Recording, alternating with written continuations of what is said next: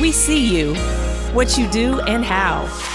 The joy, the pain, the ups and the downs. God placed in mothers a strength that rebounds again and again and again. From holding tiny hands for first steps and on kindergarten's first day, to waving goodbye on first dates, and when they finally move away. You bandaged boo boos when they got hurt and cheered them on to victory's glory. As mothers, you're the nurturers set by God in every origin story. You've been given jobs that you never asked for, never trained for, and are rarely ever thanked for. And you take them on with all the surprises, near misses, disappointments, wet kisses, and ever so much more.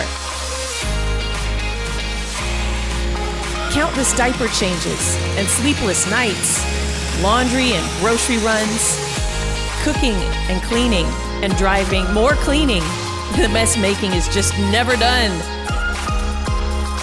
Holding them close and letting them go. As a mom to your kids, you play an ever changing role. Always essential, always clutch.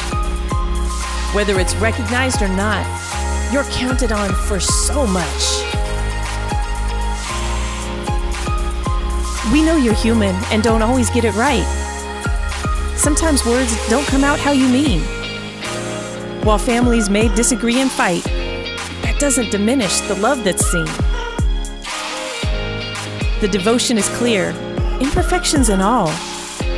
And the vessel is beautiful, despite any flaws. Moms see their kids at their worst and don't hold it against, but instead move on, forgive, and forget any sin. Even though when you're less than your best, it's rarely allowed to pass. Still, you put up, bear the brunt, and take it on the chin. You forego so many I told you so's, though maybe indulge just a few. You love your kids through their imperfections, and whether it shows or not, you're loved through yours too. And as much as it seems only natural for us to recognize and appreciate you, it's God Himself who sees you every day and draws our attention to all that you do. He planted in you a special gift to love and sacrifice in that motherly way.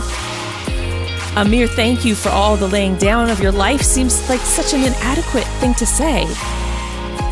For all the ways your nerves are tried and your patience put to the test.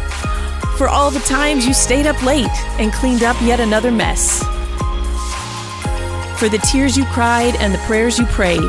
With all our hearts this Mother's Day, we rise up and call you blessed.